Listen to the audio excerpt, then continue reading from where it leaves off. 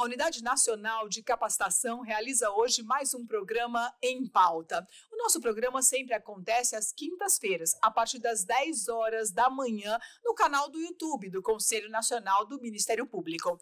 Nosso programa sempre tem temas escolhidos especialmente para você. Na verdade, são temas de interesse de toda a sociedade jurídica, mas também de toda a sociedade brasileira. Portanto, todos estão convidados a nos acompanhar no nosso programa. Nosso programa de hoje traz um grande membro do Ministério Público, Ministério Público do Amazonas, e o nosso convidado de hoje é Dr. Armando Gurgel Maia. Dr. Armando Gurgel Maia, que é mestre em Direito Ambiental pela Universidade do Estado do Amazonas e é também membro do Ministério Público, então, do Amazonas. Doutor Armando, é um prazer imenso recebê-lo no nosso programa de hoje e ele vai falar um pouquinho sobre a bula, a fila de prioridades da vacinação contra a Covid-19 e o enfrentamento que o Ministério Público tem que fazer diante desta realidade. Doutor Armando, seja bem-vindo no nosso Em Pauta de hoje. É uma honra imensa estar aqui na presença é, dos demais colegas do Ministério Público do Brasil, da sociedade brasileira e também, lógico, da, da conselheira que é tão conhecida como doutrinadora em, em direito administrativo e que, enfim, né, na verdade é uma das grandes responsáveis por eu estar aqui também realizando esses sonhos de ser no Ministério Público. Agradeço muito, doutora Amanda, pelas palavras e pelo carinho nessa colocação. Mas, doutora Amanda, a gente, nesse cenário de pandemia, nesse momento de exceção que nós estamos vivenciando, infelizmente, o estado do Amazonas vem experimentando situações bastante delicadas com relação ao enfrentamento da Covid-19, por questões sanitárias, por questões administrativas, até por questões penais.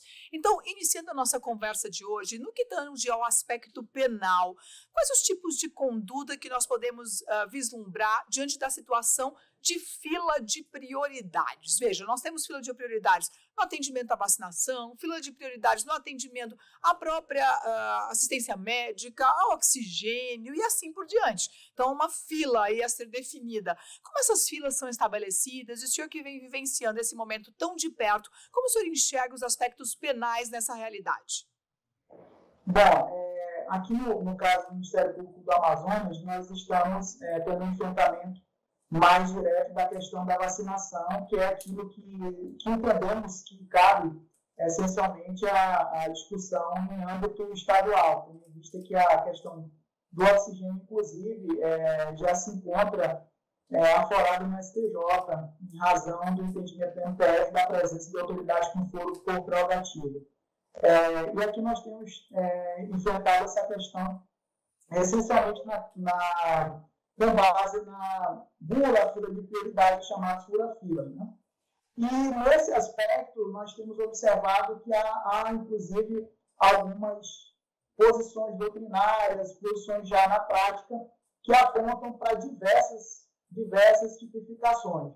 E nesse aspecto, nós entendemos, a, a, analisando essa, essa circunstância, que realmente é um tema um tanto espioso, tendo em vista alguns conflitos que podemos ter na análise de tipos como peculato, corrupção passiva, prevaricação, corrupção ativa, enfim, esses crimes contra a administração pública. Exemplo, iniciando assim, para, para percebermos a dificuldade que é tipificar essa, esse tipo de conduta. É, vamos imaginar a situação bem isolada de um servidor público que, enfim, venha pedir ou receber algum dinheiro para realizar a bula dessa fila de vacinação. Nessa situação, nós temos aí um, um peculato é, e também um crime de corrupção passiva muito presente. E aí, qual seria a conduta que nós teríamos? No caso dele, se ele repetir esse dinheiro e não aplicar de fato a vacina, não há dúvida que nós temos uma corrupção passiva muito bem delineada.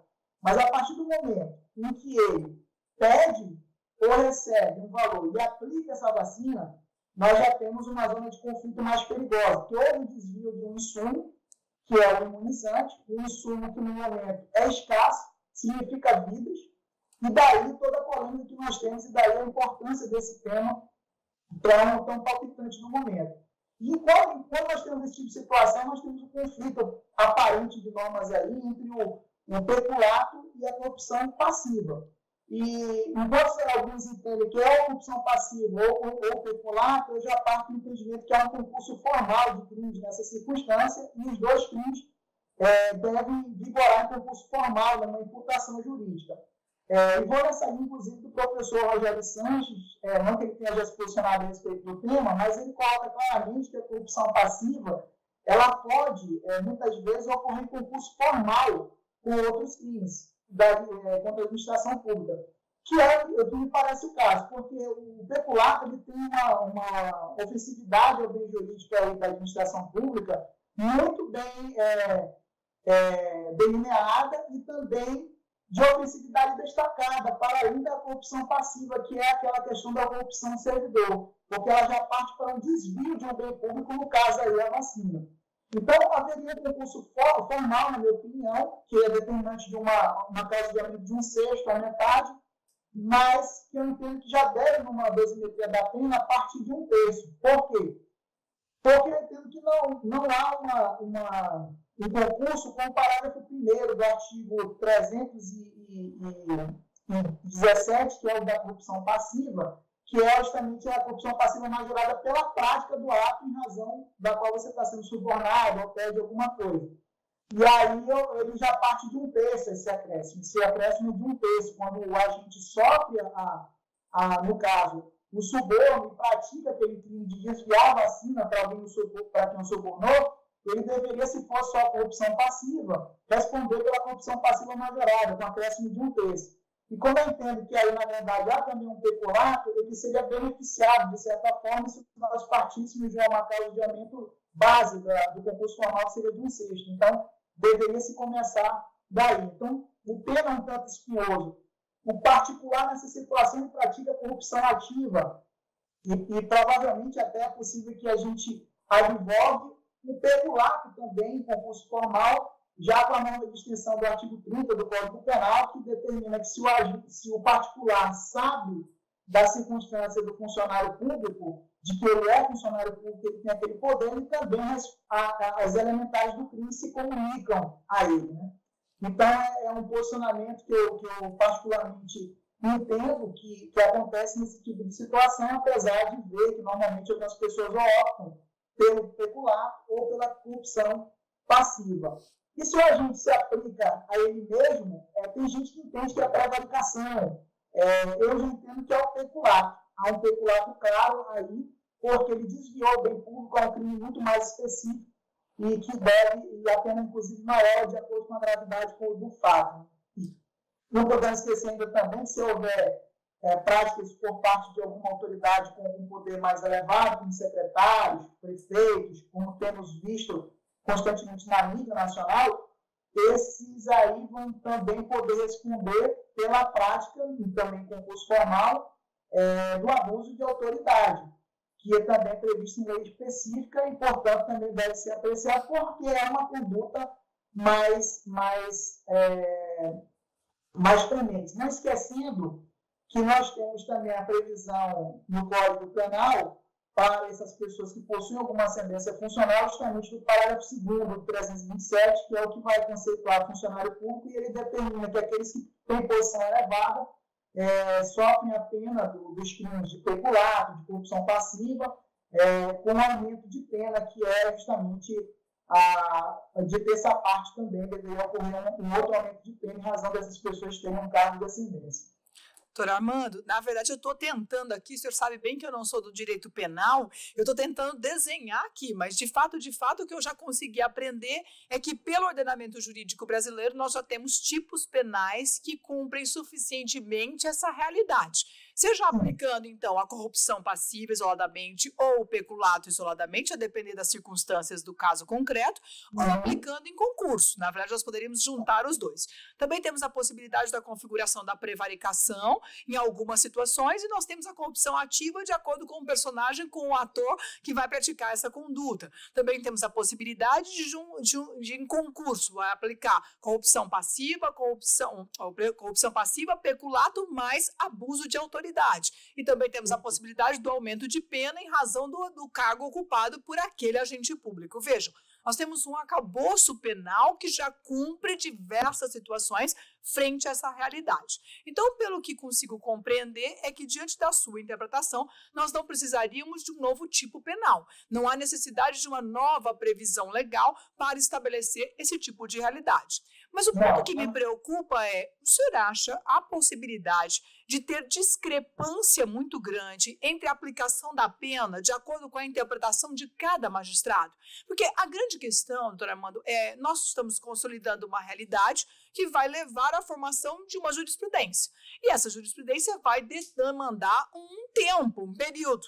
O que significa dizer, eu posso ter decisões completamente diferentes, com penas muito diferentes em uma realidade e noutra. Então, isso traz uma certa insegurança jurídica, esse ponto me preocupa.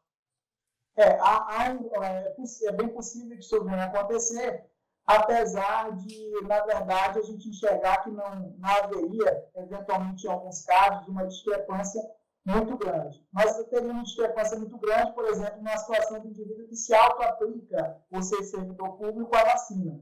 Se alguém entender que é prevaricação, nós temos um crime aí, é, enfim, com a pena ínfima. É, acredito eu até que talvez seja um crime de, de médio ou pequeno potencial ofensivo, não tenho de cabeça. Mas se a gente parte de um peculato, pela, é, pela peculato simples, pela cabeça do artigo, eventualmente, esse, ou pelo parágrafo primeiro, nós vamos ter uma situação em que o indivíduo aí é, vai responder por um crime de uma gravidade bem maior, apesar de caber um acordo de não percepção penal. É, mas não é um crime muito. já é um crime com a pena elevada, a pena que termina o máximo em 12 anos, diferente de uma prevaricação. Então, nós temos sim essa possibilidade. E aí vai caber justamente ao, ao Superior Tribunal de Justiça analisar principalmente esses influxos de diversos tribunais e aí resolver isso através de uma consolidação da jurisprudência nacional nesse sentido. Mas eu acho que é bem provável que essa situação de diferentes interpretações venha acontecer e o sistema tem meios para resolver isso, que é justamente o STJ enfim, após algum tempo, como bem observado já. É, doutor Armando, há uma outra situação, o Congresso Nacional, a Câmara de Deputados, especificamente em data bem recente, discutindo, na verdade, um novo projeto de lei que tende a, a exatamente definir tipos penais específicos para esse momento. Você acha que isso traria uma certa, um comprometimento ao nosso ordenamento? Essa medida é uma medida necessária? É preciso uma nova lei? ou a lei atende? Eu vi que o senhor já tem aí entendimento no sentido de que o novo ordenamento atual já atende essa realidade. Mas o senhor acha que mesmo assim traria benefícios à aprovação de novos tipos penais? Eu penso que, primeiramente, é, esses tipos penais, para que eles pudessem ter uma validade, especialmente porque muitos casos já aconteceram, era necessário que já existisse esse tipo previamente. O legislador teria que ter adivinhado essa circunstância, porque a lei penal não pode retroagir para prejudicar. É, e a essência do tipo penal nesse momento é, seria mais interessante que fosse até uma lei penal temporária, para que ela pudesse ter outra atividade é, posterior, porque ela seria muito específica para o momento pandêmico e que pudesse existir um tipo mais abstrato para, para é, inclusive, abarcar futuros eventos que, Deus do livre, nos aconteçam novamente de, de, pandemia. Mas eu penso que, de qualquer forma, seria algo que chegaria um pouco atrasado, no mínimo, para abarcar condutas anteriores e geraria algumas discussões, talvez, é, sobre a questão da dosimetria da pena, porque nós iríamos pensar, ah, e agora a pena é essa, é aquela, enquanto nós já temos de, gravidade determinada para essas circunstâncias. Eu penso que, é, na minha opinião, apesar do, da boa intenção é, na questão, eu penso que não seria realmente um remédio, uma medida adequada no momento, pelos problemas que poderia também é, gerar com a questão do direito intertemporal. Tem uma outra questão, doutor Armando, que também nos traz a reflexão, é exatamente a configuração da improbidade administrativa nessa realidade. Nós temos a definição dos atos de improbidade administrativa, lá nos artigos no 9, no 10, no 11 e assim por diante, e os dispositivos trazem condutas né, enumeradas em cada um desses incisos. O entendimento que prevalece na jurisprudência, na doutrina, é de que aquele rol é meramente exemplificativo, que o que importa é que a conduta esteja prevista no caput do artigo. Então, imaginando que nós vamos atender o caput do artigo, penso que o dispositivo mais adequado a essa realidade seria violação à princípios da administração pública, talvez no que tange ao artigo 11. Penso que na generalidade, agora desviou para vender a vacina, muda um pouquinho mais, né? Então acho que a gente pode mudar a definição do ato de improbidade também de acordo com cada caso. Mas na sua maioria, teríamos a aplicação da violação a princípios da administração e, portanto, a tipificação do artigo 11. Essa é a sua opinião? Bom, eu, eu parto de um, de um, pressuposto um pouco errado, um pouco diferente, na verdade deve estar errado, porque já não parte do mesmo seu. Então, como eu me adepero no direito administrativo a partir da, das lições da professora, então eu já parto do princípio de que eu já saio errado um pouco aí nessa circunstância. Nada disso, de forma alguma. Direito a gente se constrói pensando. Mas, enfim, vamos lá. Eu vou, vou sem vergonha nenhuma, vou tentar colocar a minha, a minha posição. Eu penso que realmente é, nós temos que analisar a questão a partir dos caput dos artigos 9, 10 e 11 da, da Lei de Improbidade Administrativa, apesar de já encontrarmos alguns posicionamentos, não só em peças, mas é, em doutrinas e até orientações de atuação por parte de alguns ministérios públicos, no sentido de que isso seria enquadrado não exatamente até no caput do artigo 11, mas no artigo, no artigo 11, inciso 1, que, que é o mais genérico, digamos assim, dos incisos do rol de, de exemplificativo do artigo 11, que é justamente a questão de praticar ato visando o fim proibido em lei ou regulamento ou diverso daquele previsto na regra de competência. Uma regra, um, um ensino bem, bem, bem talvez até pela sua amplitude em termos de, de, de conduta. Enquanto normalmente todo e qualquer direito sancionador exige-se a tipicidade como uma garantia, a questão da lex stricta é, que também não existe apenas para o direito penal. Mas eu penso que, é, em termos de improbidade administrativa, a gente também pode é, entender da seguinte forma, como eu já até coloquei a partir da análise por que, que o peculato também entraria em concurso formal com uma corrupção passiva. A questão que eu vejo é que, ao desviar esse imunizante, nós estamos tratando não apenas de um bem com um certo valor econômico, mas um valor de vida ou morte. Esse, esse bem, inclusive, ele tem um valor elevado se nós passarmos a considerar que, é, inclusive, já se fala que algumas clínicas particulares, se viessem hoje a ter a possibilidade de vender imunizantes, estariam vendendo em termos de acima de mil reais, valores de dois mil reais, mil e quinhentos reais, a dose, são duas. Né? E então, nós percebemos que o valor já é interessante em si fora o valor de vida ou morte, e fora o momento que nós vivenciamos, que o direito penal, o direito, o Estado deve aparecer com seus mecanismos de controle das condutas de uma forma um pouco mais é, vigorosa, sob pena de o direito não suprir o seu papel, que é impedir o caos, a desordem e tudo mais, que é de normação de conduta do direito. Então, é, eu penso que a, a, essa situação ela é, está claro também o enriquecimento ilícito daquele que toma a vacina porque é um insumo público que ele está antecipando e, portanto, fora da fila de prioridade, ele não deveria tomar naquele momento. Então, eu penso que é possível, sim, nós enfrentarmos isso como um ato de improbidade administrativa que gere enriquecimento ilícito. E, inclusive, nós temos decisões judiciais que já, já disseram que, no caso daquele que burla na fila, na verdade, pula para o final da fila para tomar outra dose. Eventualmente vai até perder aquela dose. Então, isso é um prejuízo ao horário que terá que administrar uma dose a mais naquele momento para não prejudicar aquele que foi já pela segunda vez, aquele que teve sua, sua vez burlada. Que, aliás, é uma dificuldade que nós temos nessa questão de burla de fila. Quem será que foi prejudicado com essa burla da fila? Nós não sabemos exatamente. Pode ser uma pessoa que tem uma comorbidade, esteja na linha de frente e tenha adoecido e tenha morrido. Então, até existe uma cegueira deliberada, um dolo eventual, daquele que pratica esse tipo de conduta. Porque ele não está nem aí, se ele não está na fila de prioridade, a tendência dele não é exatamente morrer, não há um estado de necessidade para ele praticar essa conduta, e quando ele pratica, eventualmente até discutível a questão da imputação de um homicídio contra, sei lá quem, uma vítima incerta. Mas a forma como as coisas vêm acontecendo é até difícil de nós determinarmos quem de fato são as vítimas desses furafilas. Será que essas pessoas morreram? Será que essas pessoas apenas sofreram? Será que essas pessoas, enfim, apenas adoeceram de forma leve? É difícil a gente saber. Então, a conduta é grave e eu penso que ela pode sim, eventualmente, ser enfrentada, até enquadrando algum outro inciso, como o inciso 11 do artigo, do artigo 9. É, no artigo 10 também tem a questão do, do prejuízo, como eu coloquei, o próprio inciso 1, E, também seria uma, uma vertente que eu acho que a gente poderia analisar, e não sei se é, nesse momento a gente poderia fechar exatamente apenas como uma violação de princípios, um caso que é de gravidade, penso que é de gravidade é, exacerbada e que atinge é, bens jurídicos de uma ofensividade diversa, não só pela corrupção, mas eventualmente até pelo peculado, que é o desvio do bem público. Não, e eu concordo, viu, Armando? Eu não estava discordando, não. Eu não queria que tipificasse como violação a princípio, não, porque eu acho pouco demais. Eu acho que a conduta é muito mais grave do que a simples violação a princípio. Na verdade, violação a princípio, todas as condutas estão. Então, eu acho que há sim um incremento para que isso se tipifique como dano ao erário, especialmente quando a gente fala do prejuízo que o Estado tem que ter para os hospitais de campanha, para a instalação de mais UTIs. Então, há configuração de um dano ao patrimônio público, ao erário, e há, sem dúvida alguma possibilidade de enriquecimento ilícito? Sim, concordo plenamente.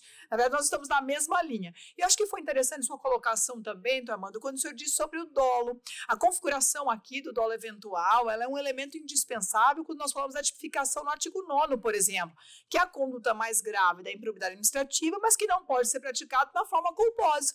Então, há necessidade da consciência, nesse caso, daquele que desvia, que está furando e que está desrespeitando.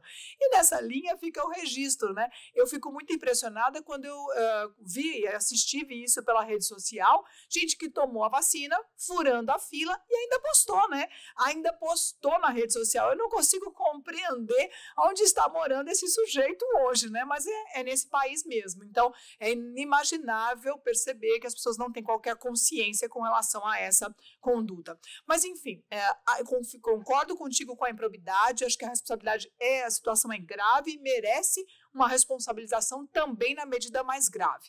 E aí vamos uh, retirando a gravidade de acordo com as medidas ou as condutas menos uh, gravosas ao erário e aos quadros da administração pública. Mas uh, pensando ainda na questão criminal, doutor Armando, vem aquela questão da competência para julgar, né?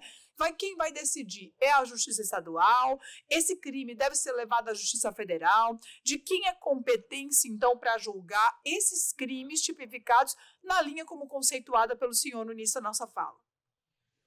Bom, é, eu penso que a, a, questão aí, ela tá, com certeza está sob debate, debate está aberto.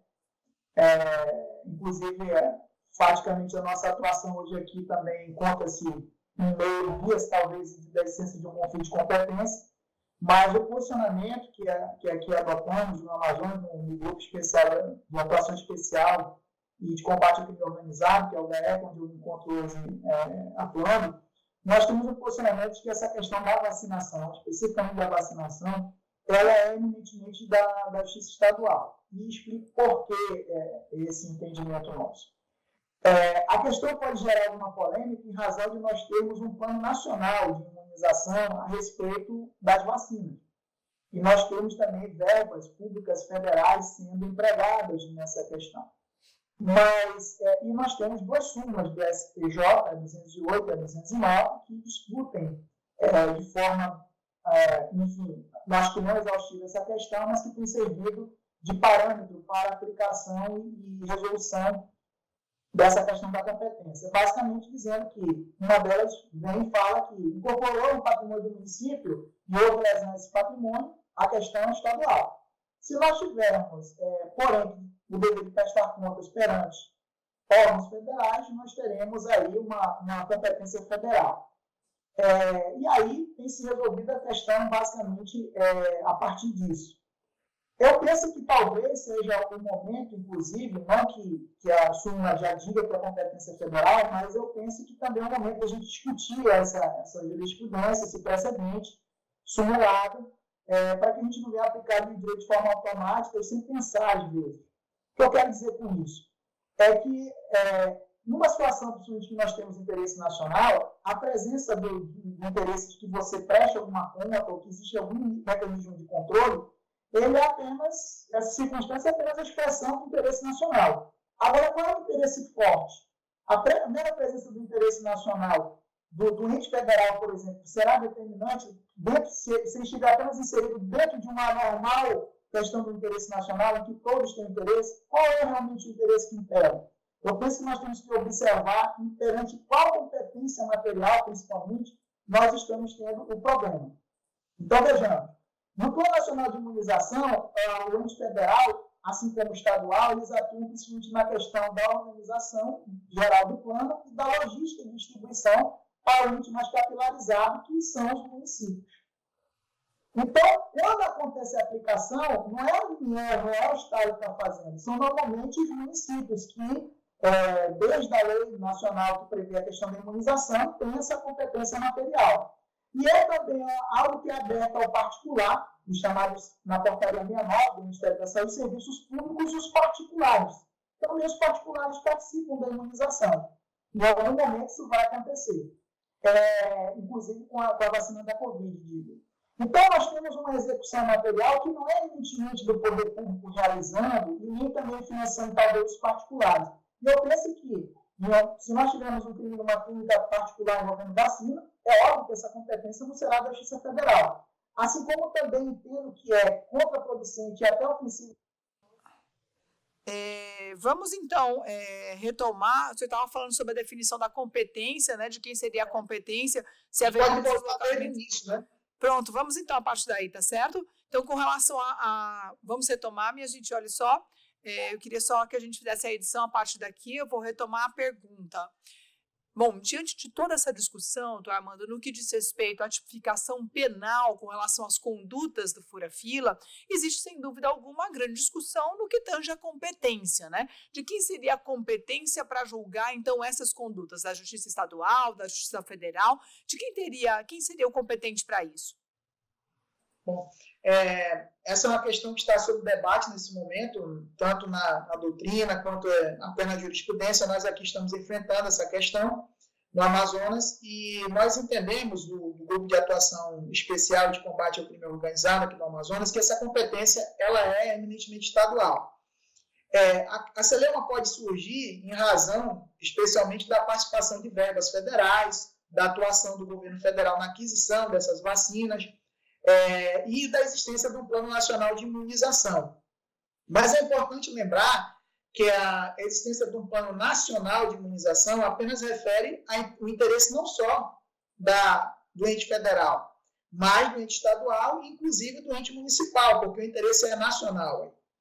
Então, nós temos duas súmulas que normalmente ah, são utilizadas, às vezes até com certo automatismo, para a solução dessas, desses conflitos de competência quando a União apresenta algum interesse, que são as súmulas 208 e 209 da STJ, que tratam justamente, em resumo das duas súmulas, é, que quando houver uma incorporação de verba ao município, acabou, nós temos uma situação de competência da justiça estadual. Mas, ainda que isso aconteça, se houver necessidade de prestação de contas ao ente é, federal, nós teremos então a competência da Justiça Federal.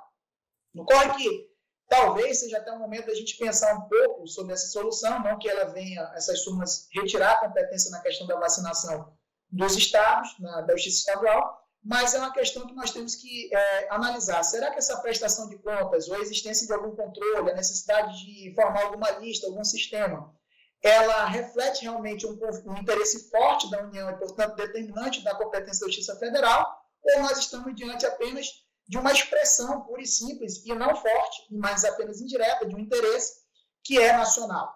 Então, nós, eu penso que o critério que deve ser adotado, e talvez às vezes ele seja um pouco mais difícil em alguns momentos nós percebermos, mas se nós não percebermos, nós vamos estar praticando algumas injustiças, é a questão da competência material. No caso da vacinação, a competência ela é, na parte de execução é uma, uma competência eminentemente do município, inclusive que pode ser realizada por particulares. Em algum momento, a vacinação da Covid vai chegar também a clínicas particulares. E é óbvio que há um crime sendo é, realizado com essas vacinas, que envolve essas vacinas de alguma forma, no ambiente do particular, não vai levar à Justiça Federal. Assim como também nós entendemos que é, até pela capilarização desse problema, ou seja, pelo espalhamento que ele tem em todo o Brasil, dos mais diversos rincões, que para que nós possamos atender o princípio republicano, ele tem que ter algum influxo nessa análise também da competência. Porque senão nós não vamos, nós não vamos promover as obrigações processuais penais positivas, que são de uma percepção penal idônea a alcançar eventuais responsáveis que pratiquem esses crimes nos interiores do Brasil afora. E, se nós observarmos, essa competência é eminentemente material, dos municípios, essa, essa execução da vacina. Então, se nós temos a bula, a fila nesse momento, então essa competência é estadual. Se nós tivermos um problema na alimentação das listas, alguma coisa do tipo do SUS, aí nós podemos cogitar de eventualmente de alguma exceção de dados falsos, alguma coisa que venha gerar uma competência da Justiça Federal. Veja, se nós temos um homicídio dentro do aeroporto, só porque aquela área ali é federal, o homicídio vai para a Justiça Federal? Nunca foi. O júri é estadual. Mas se houver um crime que ofenda a administração aeroportuária, que é o interesse específico da União, aí sim nós vamos à Justiça Federal.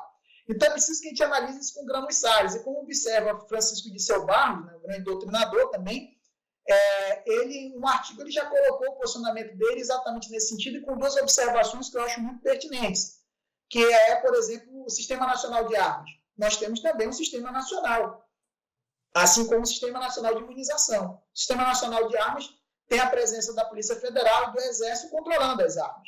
Inclusive, nós temos o influxo de, é, do Sistema Nacional de Armas é, com também com planos nacionais de segurança que financiam armas para as forças auxiliares dos estados. E nem por isso, quando nós temos o roubo, o furto, o extravio de uma arma dessa numa corporação, isso vai para a Justiça Federal. Ou um disparo de arma de fogo, a posse de uma arma de fogo. Que demonstra que existe um interesse da União, mas naquele aspecto justamente do controle geral, da importação e desse registro dessas armas e tudo mais, para que se saiba com quem e onde estão mas não o interesse de apurar os crimes que estão ali dispostos no Estatuto do Desarmamento. A mesma coisa nós temos também com, com, a, fila, com a fila de transplante. Nós temos o Sistema Nacional de Transplantes. Abula essa fila de transplantes no sistema de saúde, em que tem um rígido controle a partir de, do Ministério da Saúde, que lá fica o órgão central do Sistema Nacional de Transplantes, não gera competência da Justiça Federal. Então, é, é normalmente julgado pela justiça estadual ninguém nunca questionou isso. Então a gente tem que é, parar, às vezes, de pensar que, eventualmente, a questão ser federal, né, às vezes, talvez, por assistir muitos filmes americanos, que a questão será melhor solucionada a partir da centralidade da Justiça Federal. Pelo contrário, nós temos, é, é, sim, grandes membros da, da magistratura e do Ministério Público Federal, mas eles não têm, inclusive, a capilarização que o Ministério Público Estadual, que a Justiça Estadual possui, e provavelmente não terão condição, condições de resolver esse problema, o que casa perfeitamente com o raciocínio jurídico agora há pouco que eu acabo de expor, que eu penso que casa com isso tudo e nós aproveitamos ainda e concretizamos o princípio republicano. Questão com relação à vacinação traz uma outra preocupação, doutor Armando, que é a definição das prioridades. Como deve ser montada a fila, portanto, de prioridades para a vacinação e a sua confiabilidade é um ponto importante para a apuração das, das bulas, não é? Como o senhor enxerga essa definição das listas, essa priorização? E quais as responsabilidades nessa definição? Bom, é, Inclusive, isso está, nesse momento, como pauta do dia, numa DPF ajuizada pela Rede Sustentabilidade no Supremo Tribunal Federal, que é a, a DPF, acho, 754. É, 754, anotei aqui para que pudesse falar. E ela, nesse momento, inclusive, está com uma medida cautelar deferida pelo ministro Lewandowski, no sentido de determinar a União que estabeleça melhor essas classes e subclasses de prioridade, porque os municípios e os estados, muitas vezes, é, estão deixando de fazer seus planos respectivo de vacinação e estipulando melhor, de acordo com alguma realidade local, é, essas prioridades. E, na verdade, nós devemos ter um parâmetro nacional, uma norma mais geral a respeito disso, e nós não temos. Então, nós temos observado algumas situações em que há uma bula da fila antecipada, eventualmente, porque não deixam de chegar questionamentos de algumas classes é, de trabalhadores, de profissionais que estão se antecipando a outras que boa parte da população entende que deveriam preceder aquelas que estão agora sendo vacinadas é, e gerando diversas dúvidas acerca de politicagem, o que quer que seja.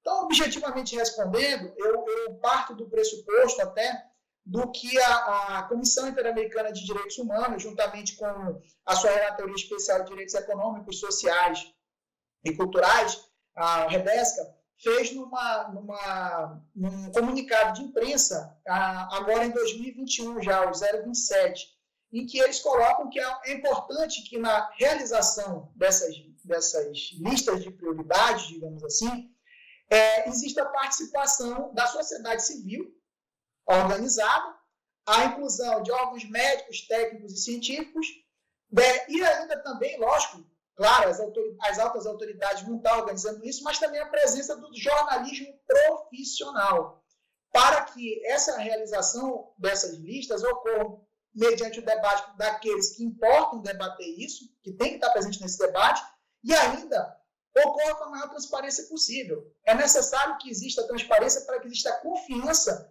que esse momento exige, inclusive, para a tranquilização das pessoas na realização desse Plano Nacional de Vacinação. E ainda a, a Comissão Interamericana de Direitos Humanos lembra que não é o fato de nós estarmos no momento de pandemia que devem ser afrouxados os controles contra a corrupção, contra a transparência. Pelo contrário, nesse momento é que esses controles devem acontecer de uma forma mais severa para que, de fato, o plano aconteça com a confiabilidade necessária e condições que possamos realmente averiguar se essas listas estão sendo acompanhadas. Enquanto não houver isso daí, de fato, um debate sério e pronto, e exatamente venha gerar essas listas, nós realmente vamos ter essa dificuldade, inclusive depois, ainda que saia o questionamento se ela foi legítima ou se não foi por questões políticas, tendo em vista que o, o centro de discussão disso são, são é, representantes do povo, eleitos pelo povo, mas que são é, membros do corpo político e tem, assim, sempre a política no meio. Bom, eu gostaria, doutor Armando, de agradecer a sua participação no nosso programa em pauta de hoje. Obrigada por essa oportunidade, obrigada pela sua contribuição no nosso encontro. Fico muito feliz de tê-lo conosco aqui no nosso programa em pauta. Eu devolvo a palavra só para a sua finalização, doutor Armando. Bom, eu queria agradecer, em nome também do Ministério Público do Estado do Amazonas e também do nosso grupo de atuação pela oportunidade aqui estar presente e a honra imensa de, mais uma vez, reitero, de estar aqui contribuindo com o programa e também estar diante da professora, eterna professora, e também a convite do grande tribuno de Goiás, que é o doutor Dani Salles. Então, Armando, muito obrigada mais uma vez. E assim nós agradecemos toda a equipe da Unidade Nacional de Capacitação que trabalha tanto para a realização do nosso programa. Agradecendo então os nossos colaboradores, a Aline, a Olgo, Vladimir, os nossos membros auxiliares, Dani Salles e Larissa Luz. E gostaria de agradecer então a toda a equipe do Conselho Nacional do Ministério Público que nos ajuda na realização do nosso programa em pauta, a equipe de tecnologia, assessoria de comunicação e todos os demais órgãos da nossa instituição. Muito obrigada a todos e até a nossa próxima Até mais!